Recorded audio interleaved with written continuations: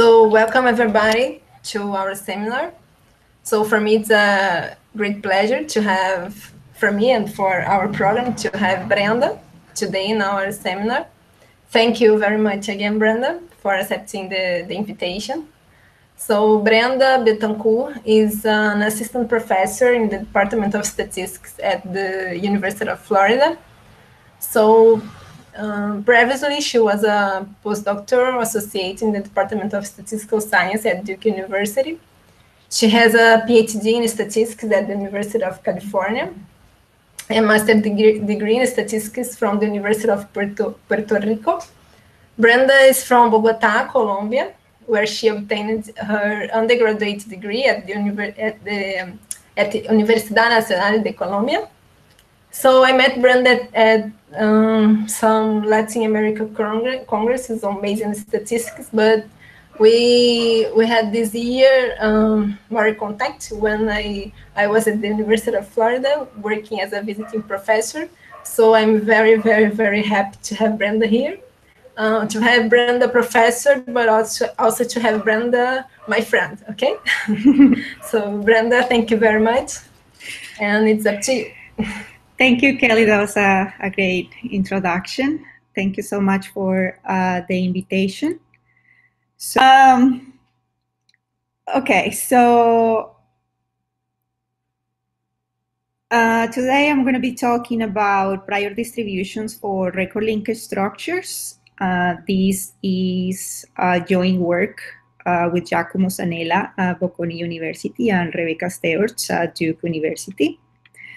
So what is record linkage? So record linkage is the task of merging large noisy databases to remove duplicated information. So this task of uh, record linkage is one that uh, we can find in many, many applications in practice. Uh, one of them is, for example, electronic health records, where we can have uh, databases uh, from, say, a medical institution, uh, pharmacies, um, health insurance uh, uh, information from the same people, but uh, that for some reason uh, they don't have a unique identifier across databases, and also very often because of privacy reasons, then they remove. Uh, you know, identifying information such as you know addresses, names, or uh, other things um, that could be useful to identify people uniquely. So if we want to use um, the information that is contained in multiple databases, uh, sometimes in practice we will need to merge those databases, but again, it's not an easy task if we don't have unique identifiers. And also we can have uh, corrupted, degraded, or noisy, or even out-of-date information that could make difficult for us to identify a person as being the same. Okay, so uh, I don't know. Well, I guess you heard what I was saying. You just couldn't see, right? Uh, so record linkage then, uh, because we're trying to merge multiple uh, records from different databases, uh, we can see this, this problem as a clustering problem in which we're trying to um, merge well, uh, cluster records that belong to the same unknown latent entity right? So we don't know exactly who this person is, and we don't know exactly what the informa- the current information is, but we have information from different sources, and we will just group um, records that we think uh, belong to the same person. Okay, so um, what I'm going to be talking today is how we can formulate uh, prior distributions for this clustering task in a case where the number of data points in each cluster is going to remain very small, even when we have large data sets. This problem is uh, what we have called the microclustering problem. And what happens there is that if you think about it, if you have maybe four or five databases that you want to merge, then you don't expect to see say, a 100 records that belong to the same person. Uh, you may just see three, four, five max, even 10 maximum, but you will never see like the same person being repeated in, this, in all the databases a uh, large number of times. So this is basically the focus of um, the work that the work that I'm going to be showing today. So we're just going to be talking about random partitions model, models that allow us to do a clustering task that has this micro clustering property where the clusters are going to remain small regardless of uh, the size of the data. So besides uh, record linkage, which is the motivating application that I have been using for my work, uh, recent uh, work has also come up dealing with other applications of uh, microclustering. Uh, these are just some of them. For example, Anglo-Saxon settlements, uh, clustering of Anglo-Saxon settlements for historical research, DNA, clustering of DNA sequencing, uh, few-to-few cross-domain matching, uh, object, object matching in uh, language processing, and also the analysis of sparse networks. Um, so I'm going to start uh, describing some of the notation. The middle part of the talk is a little bit heavy, but uh, I just want to, you know, as long as you understand. So uh, these are just other applications of microclustering, uh, but the one I'm going to be focusing on is just record linkage. So some notation, we're going to, uh, well, when we're doing clustering, really what we're trying to do is a partitioning of the data in right, in different clusters. So we're going to consider that the number of clusters is going to be unknown or random. Uh, and then the division of the data points into clusters can be represented by a partition that we're going to be denoting as pi sub n. And um, C1 to CK are just going to be the clusters. Okay, so I'm going to assume I have a capital K cluster clusters, and then those are you know, the number of clusters is just random. So the partition, uh, partition in general, uh, can also be described using n-cluster assignments or allocation variables, uh, z1 to zn, where ci equal to k, it means that uh, record i, we have you know a database with records, record i was assigned to cluster um, ck, basically. Okay. So just the main idea is that we're going to be uh, talking about how to propose prior distributions for these cluster assignments in a way that preserves the or gives us the microclustering property that we need to have for the particular application of record linkage, okay? So, and then the values S1 to SK is going to denote uh, the cluster sizes meaning that you know Sj is just the number of elements that are in cluster uh, Cj. Uh, so one very uh, popular model for that is used for clustering, general clustering tasks is uh, the Dirichlet process um, mixture model. I'm not sure if everyone's familiar with this, but if you're not, I'm just gonna explain basically what it does. So the Dirichlet process is known to uh, provide a very nice and easy way of create a partition of your data.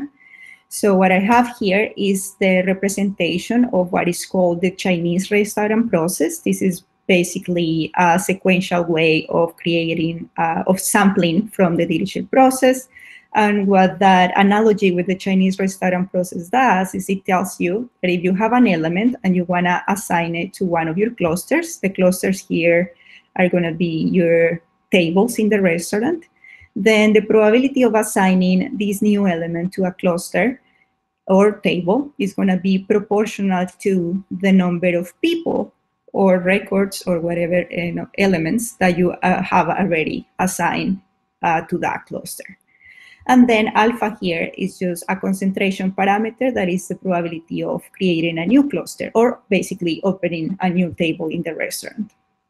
So uh, this is a very nice uh, um, predictive rule, basically, that the Dirichlet process has. And that's why, because it's very, very easy and very computationally tractable, many, many um, uh, cluster clustering applications use this uh, distribution as a prior distribution again on that vector of cluster assignments. So this is just basically a prior on random partitions, but uh, the difference with, or the reason why we want to create new prior distributions is that uh, the Dirichlet process is known to have uh, rich to get uh, rich get richer behavior. If you see, uh, if there are a lot of people in this cluster already, then the next person is going to be more likely to be seated there. So it's doing what I don't want it to do.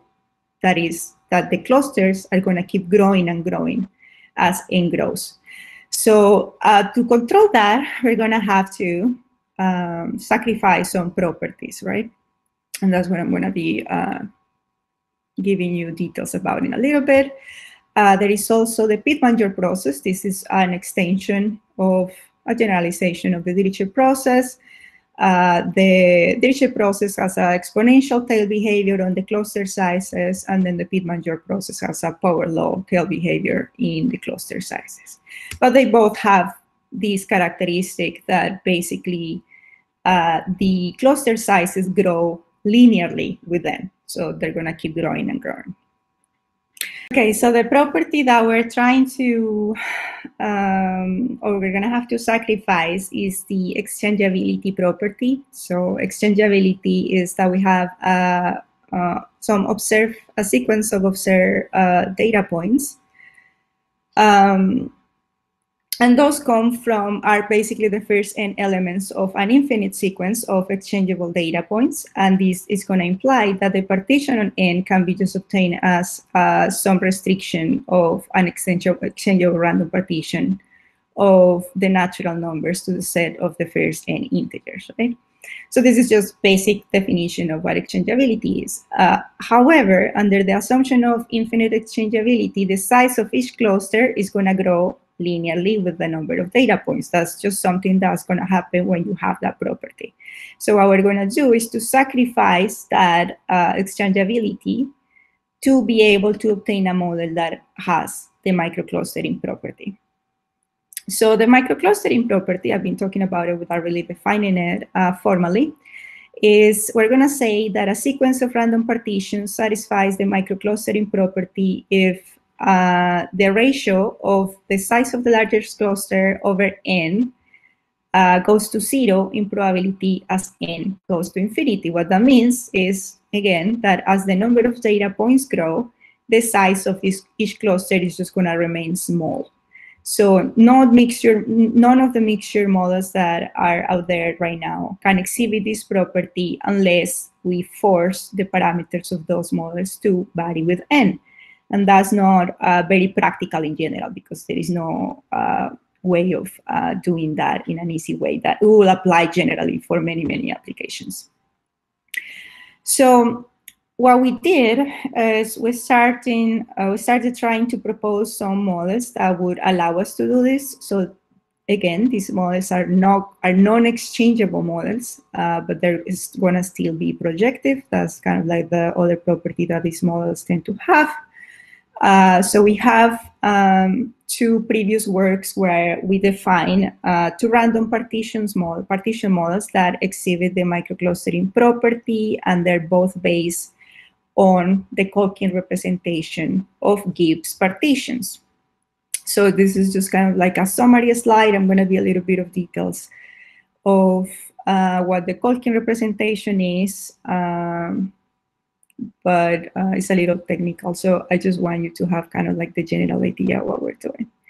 So the two models that we propose are um, uh, the negative are denoted as the negative binomial negative binomial, that's the NBNB model, and the negative binomial Dirichlet model, uh, which is the NBD model. And one caveat of these models is that they lack some uh, asymptotic properties and interpretability. I'm just going to go over the details of that and then why we ended up with the last model, which is kind of like the state-of-the-art model that uh, we're proposing for microclustering. So the Kolchin representation of Gibbs partitions, uh, we're just going to denote the distribution of Gibbs partitions uh, in this way, where we have B and W that are two non-negative sequences. And the models that we are doing, or well, the Kolchin representation, this just in general, is it has this structure, which is we are going to assume a distribution kappa on K. Remember that capital K is the number of clusters that we have. um, that which is a random quantity, obviously. And then S1 to Sk are the cluster sizes. And this distribution is going to be conditioned on capital K, which is the number of clusters. And we're also going to assign a distribution, a probability distribution to the cluster sizes. So if you look at this, it looks basically as though you're placing a prior distribution of the number of clusters and a prior distribution of the cluster sizes. And obviously, you know, these are probability distribution on the positive integers because um, that's just by definition how it goes. So this is basically the Kolchin representation of cube partitions. So in general, it's kind of like if we were placing a distribution on the number of clusters and the number of cluster sizes. And then obviously this is going to be conditional on the cluster sizes uh, adding up to n, right? Like n uh, in this um, setup basically would be a random variable, but in practice, of course, n is given to us. So we have to condition on that. And uh, when we do that conditioning, then the same, this corresponds to uh, the marginal distribution of the cluster sizes of uh, a Gibbs partition. Um, so the microclustering models that it went away again. Uh, sorry, Brenda. I just have a quick question on your notation, just to make sure I understood it. So uh -huh. when you uh-huh. say, so your kappa s is the is it the probability that k is equal to zero s? Uh, over here. Yeah. Yes. Yeah. Okay. So okay. Cool. Kappa s. Yeah. Those are probabilities. Same for mu. Of, yeah. Same for mu. Okay. Okay. Mm -hmm. Cool. That's that's a pretty good question actually. Uh, okay, so the NBNB model is obtained uh, by assuming uh, kappa. I said already is the negative binomial negative binomial model. So we're just basically assuming negative binomial distributions for that. What that means is that the density function of the negative binomial is what's going to give us uh, what we just said, right? Like the probability of uh, say we're doing it for mu, the probability of a cluster of size S, right? Yeah, uh, you get the, the density function from the negative binomial. Uh, the NBD model, uh, which is the negative binomial Dirichlet model, is just, again, going to have kappa as a negative binomial. But then for mu, we're going to be a little bit more flexible, and we're going to assume that mu is a random probability vector with a Dirichlet distribution. And what we do is to say that the um, uh, the measure that we're using for the Dirichlet distribution could be a negative binomial or a geometric or whatever you choose. Uh, in that case, again, a distribution on the positive on the positive integers. And what we see is that uh, the NBD is way more flexible in general than the NBNB. And we could see then that empirically, because we could improve properties for those specific models, um, I'm going to say why in a little bit. Uh, they provide a good performance in terms of uh, uh, record linkage tasks um, and obviously giving us smaller clusters. But these models uh, have some limitations, and those limitations come from the fact that we have this condition, right? Like when we're sampling our cluster sizes, they have to add up to n. And when you do that, then you lose some interpretability of kappa and mu. What you think could be your prior distribution on the number of clusters and the cluster sizes. That distribution, distribution can change a lot when you have to condition on n. Uh, so that's one issue. The second issue is an issue of identifiability. You can easily modify the parameters kappa and mu without changing the distribution of the resulting random partition. We didn't have any asymptotic properties. Those are, for example, in, um, the number of clusters, the expected number of clusters, or the expected number of uh, clusters of each size, things like that, that are, um, you know, characterize the whole uh, prior the same way that we, like the DP has, we, the Dirichlet process has. We would like to do that, uh, but we couldn't do it with this um, specification. And then the other thing, again, as I had mentioned before, uh, parameters varying within, if we want to have a reasonable prior in practical microclustering settings, we will still need to choose a different kappa for different values of n. So we will need basically the parameters of kappa to be depending on n, and that's not an easy thing to do if we want to have a type of default prior distribution that could be used in general for microclustering tasks. So what we did then, like we had studied this and we know that it kind of works, but we wanted to be a little bit more formal with things. So now what we're going to do is to assume that we have an exchangeable sequence of clusters. So we're dealing with exchangeability, but not on the observation, but on the observations, but on the clusters. And we're going to assume, uh, you know, it's an exchangeable sequence of clusters with finite sizes. And then the data points then are going to be assumed to simply arise from the union of these um, uh, finite clusters. And we have a condition here. This is more theory. Obviously, if you want more details, uh, the paper is in arXiv, which you can take a look at this. But what we have now is instead, we're trying to get rid of that conditioning on n that we had before. That was just kind of like um, reducing the flexibility of the model and the interpretability. Now we have this conditioning uh, on this event, basically, that there is exists a case such that we have what we need, right? N is still a given value. Uh, we just change the way the clusters are defined so we can prove some theoretical properties about them. Uh, so in general, this we're going to call these the ESC models. These are just exchangeable sequences of clusters. And uh, for these ESC models, then a random partition pi sub n is going to be denoted this way when we are basically sampling from the ESC models. And it's going to depend on a parameter p sub uh, mu. And this is basically just a prior distribution of mu. So because the way we're um, uh, establishing the, the model now, then you know it's only going to depend on mu. Then we don't have that uh, prior that, or that distribution.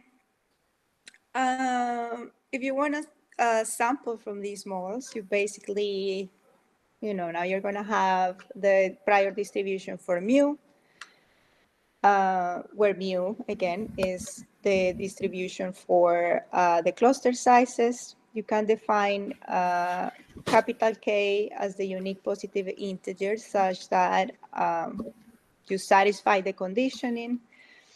And then you can define the cluster allocation variables as a uniformly a random permutation of a vector of this form. So you can do this sampling um, with a importance sampler all the description is in the paper but in practice it's actually easier because you can always you know the same way uh, that you can uh, for example truncate things with uh, the Dirichlet process you can do the same with the exchangeable sequence of clusters models. Uh, can you guys are you guys hearing me fine and seeing fine? Yes. Okay. Yeah. Okay so with this uh, formulation, basically, uh, now, before with the with the Kolchin uh, characterization of the models that we had before, we couldn't really prove formally uh, that we had the microclustering property. Those we just have empirical results. So now with this uh, specification, we can do that. The only condition that we need, this is just the basic definition of the microclustering property that I had uh, given you before the only assumption that we need is that the expectation of mu, or the mean of mu, that whatever distribution you choose there has to be finite. And that's not really hard to satisfy. The negative binomial distribution has it. Pretty much any specification uh, that I can think of has that um, property. And then the other thing that's important that we wanted to have for these models is the same way that you have that Chinese restaurant process scheme to sample from the Dirichlet process. We also want to have something similar, and that's what we call here reallocation probabilities. So in a similar way, you can seed someone in an existing table with uh, this probability over here, or open a new table or cluster in uh, with a probability with the probability that you see here. So in computational terms, uh, whatever you do with the DP when you're doing clustering, you can also do with uh, these models just by replacing, you know, the corresponding probabilities of assignment to different clusters uh, for these uh, um, rule that we have over here. Asymptotic properties that we have, uh, we can prove, uh, you don't need to know the details of that proof, but again, if the mean or the expectation of mu is uh, finite, then the, we can show theoretically that the number of clusters grow linearly within. So remember, the microclustering property means that the cluster sizes grow sublinearly within, right? We don't want them to keep growing and growing. But when you are doing that, what you end up with is with the number of clusters actually growing linearly within. You want to have a lot of many, many small clusters. So we can uh, prove that. And then also the proportion of clusters of a given size is uh, basically all this thing, what it says is that it coincides, it coincides with mu. So in this case, with this specification, you can actually think of mu as a prior distribution on the cluster sizes. And in that sense, then it's very easy to incorporate prior information. Whatever you choose P of mu to be, then you know that's kind of like the prior behavior that you're given it, and it's not, it's easy to interpret. Uh, so we have all those uh, properties. So now I'm just going to show you um, uh, some simulation studies that we did. So this is the record linkage model. So far, we were just talking about the prior on the clustered assignments or the prior on the random partitions. That's going to help us do the clustering. but We haven't really talked about the data model, which is just uh, the model that you use for your data, right? So generally, uh, in record linkage, you will have multiple databases where you have um, hopefully some fields that are shared among those databases. So you can have, for example, the birth uh, date, uh, the gender, maybe education level, you know, we're just considering here, this example is only for categorical data, but, you know, there are models that you can do uh, use, uh, that you can do using uh, string data. Say if you have names or addresses or things like that, then you can, um, there are models for that too. Here is just categorical for the purpose of this illustration. So this is the model for the data. Uh, why it's just going to represent those true latent entities that I'm trying to cluster my actual data to. So that will be the true person that I don't know what it is. And I will try to just uh, cluster my observations to that. Uh, beta over here is just uh, distortion probability. So remember that we expect to that our data is not clean. If it was perfectly clean and all the records were if you have three records of the same person and they were perfectly exactly the same, then this will be a very easy problem, right? But generally, we're going to have uh, typing errors, outdated information, things that add noise that make hard, uh, make this problem hard. And so, and this part of the model is just what we just did, right? We're specifying a prior on random partitions. And in this case, we're just taking an ESC model as our prior distribution. So this is just, uh, all the simulations are just based on uh, 1,000 records with a distortion of the fields of 5%. That's the distortion I'm adding, the noise I'm adding to my data. And we're just doing five fields of information with 10 categories each. Remember, this is just a categorical model. And what you're seeing here is just uh, the red lines are the true distribution the true partition distribution. What that means is that uh, the true partition has 250 clusters of, clusters of size 1, 150 clusters of size 2, 100 clusters of size 3, and so on, right? So the red line in all the plots is the same. And the dots that you see, or the circles that you see, is what is the estimated partition from each of the models, okay? So what we expect or what we would want to see is that our ESC models capture those partitions better than the traditional models, right? Because we're in a, in a setting, in a micro-clustering setting. So we expect these to our models to be better. So what we see in this example, we are, uh, this is the type of distribution where that favors the DP in the sense that the DP tends to uh, create a small number of big clusters. In this case, the maximum cluster size is just five, right? So they're still small clusters. And it tends to give us a large number of small ones or singletons. So we see here that the DP and Pitman-Yor tend to overestimate a little bit the number of singletons, while our models tend to do a little bit better overall.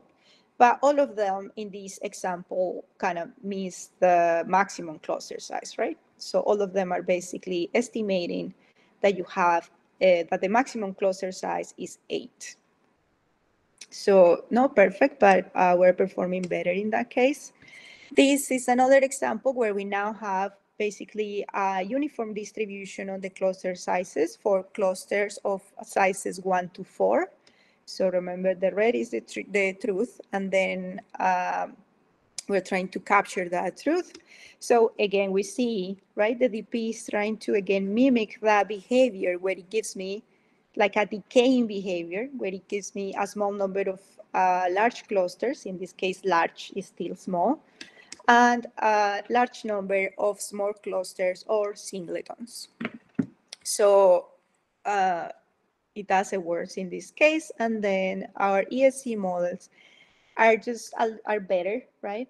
Uh, not perfectly uniform, but still better. And especially the ESCD is still estimating a few of sizes five and six, but is the one that performs the best, which is the closest to the true uniform distribution. And then uh, we have another uh, distribution, which is just unimodal basically. And then again, we see the DP and Pitman-Yor struggling some with the singletons because what they do normally is to give you a, a large number of singletons.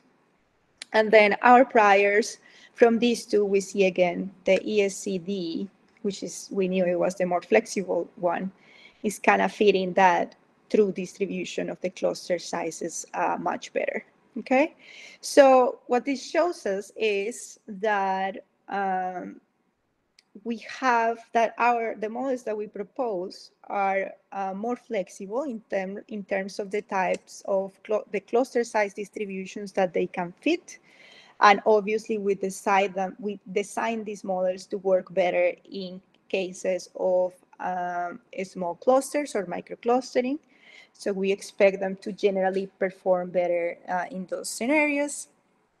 And uh, that's Oh, I have a last one here, pretty much the same behavior, struggling with singletons, not really capturing, and then the ESCD is kind of like the best one overall. So the conclusion is um, we propose, these are again um, non-parametric models uh, for clustering tasks, uh, specifically micro-clustering tasks where we expect the cluster sizes to remain small, even when the size of the data increases.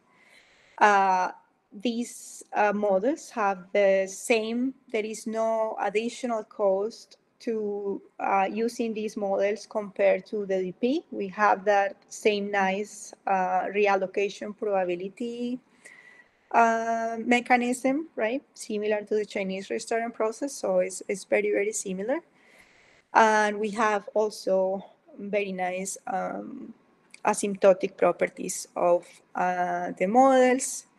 The paper is already in arXiv, uh, one version of it, and then the paper has been accepted to JASA. Hopefully, I don't know when it's going to come out, but hopefully it will come out online not too far away.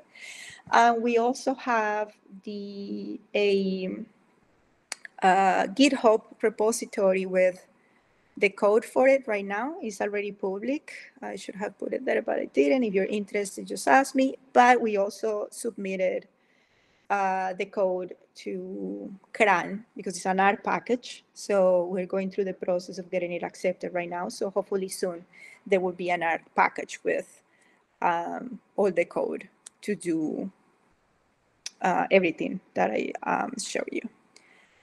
Uh, okay, so that's that would be it. Okay, Brenda. So thank you very much. Sorry, it was such a bumpy ride. I, I think it was just Firefox. yeah, it, it was a good idea to change the, the browser. Yeah. So thank you very much, Brenda, for the excellent presentation. Congratulations for your work. Congratulations Thanks. that it's it's almost accepted to mm -hmm. the mm-hmm. journal. thank you. Hi, Brenda. I actually have one. Mm -hmm. uh, first of all, thank you very much for the presentation. It was really nice, and I particularly enjoyed uh, your uh, proposed prior because like DP is so popular and it has that problem of getting lots of singletons. Like from one side, it, it is kind of nice because you don't need to do like reversible jumps, which are mm-hmm. pain to program. But on the other hand, then you're just starting to have these very redundant clusters and that, that kind of stuff. Yes. So I find it very nice your proposal there. Uh, and you are keeping the number of clusters as it being random, right? Yes. So you still have that. Okay, that that's nice. And another thing is, uh, I was thinking, is it easy to see from the formulation of your ESCD mm-hmm. that it would uh, not have this undesirable property of giving you unnecessary singleton clusters? like mm. i mean because from the dp as you like think a little bit about it it's perfectly clear why that phenomena happens but at least to me that i, I think it is all too new to me this escd mm-hmm. so if you can just like uh, explain it again like why what is there in the formulation that avoids that kind of problem uh, it's going to depend on your um, the prior that you use for so that piece of m, that is what all the ESC depends on. So it's going to depend on how you specify that. So let me, I don't know why I closed that, sorry. Let me go to the slide. Can you see my slides now or no? Uh-huh. Okay. So in the, where we have the reallocation probabilities, right? Like the same way where you do with the DP that you can actually see just from the probabilities that uh, you have to assign to an existing cluster or a new one while you would mm-hmm. be generating too many singletons. Then the same thing happens here. It kind of, well, we have the general property from the formulation, but now the mu is really what's going to give you uh, more flexibility. So, for example, if you assume that the mu has kind of like a geometric decaying behavior where you have more singletons right? If it's mm-hmm. the, the number of clusters of size one, and then you go down, then you could expect to have a little bit more, you know, favor in, uh, you will be favoring the singleton clusters, right? Right, and that comes from this basically. This is the probability of clusters of size one. This mu one that I'm highlighting there, right? I so, see. I see. So you could change. You could assume uh, this formulation that we have is pretty general though, and we tested it out with different uh, distribution distributions. But if you have a very strong belief on how your um, your um, true data is, then you could include more of that just by giving it the information through the prior distribution. Um, okay, but but you do allow uh, prior on these on these mu's, right? Mm-hmm.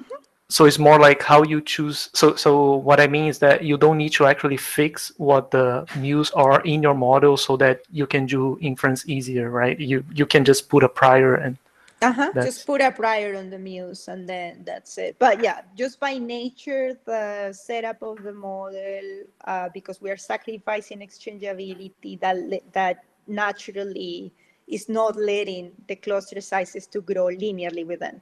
So it's uh-huh. kind of like constricting, like a restricted cluster size, just by definition of the model. Um, I see, I see. Thank you. That's a really nice thing. Mm-hmm. Yeah, thank you very much. Yeah, the paper, mm. the paper obviously is more clear and it has more applications. Um, so definitely take a look if you're interested. Yeah, yeah. I already took a note of what is the reference there so I can yeah. search it on the arXiv. Okay. Really nice. Thank you very much, Brenda. Okay. Okay, more questions from Brenda?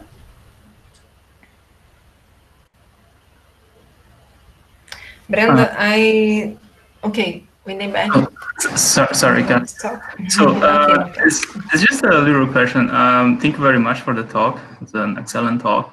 Uh, just uh, about the, the prior choice, uh, have you some concern about uh, non-informative priors or informative priors? Um, not really. I mean, we have um, the two uh, the two specifications, right? So we chose yeah. uh, P sub mu, which is just the prior for the cluster sizes. In one case, we're making that just a fixed negative binomial, right? Meaning that the density mm -hmm. function of that is what gives you the probabilities of each cluster. And then this one, which is the more flexible one, is you assume that it's random, give it a Dirichlet distribution, and then you assume a base measure for that Dirichlet distribution. Uh, this one, I don't think we can see, we've seen that uh, for the for the MBE specification is not as flexible, and in that case, it can really affect the results. But for the more flexible one, which is this one, uh, is pretty robust, basically. So it really is very flexible in that whatever your data is telling you, it, tra- it tries to accommodate that. Uh, so very worried about it. Um, yeah. Okay, great, thank you. Yeah, but definitely with the ESCD one, like that's the the winner overall of everything we everything we've seen. So if you're gonna use one, then just use that one, which is the more flexible one.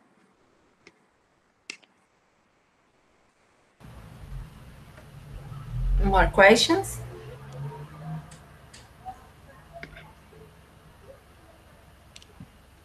So um, I have maybe two questions.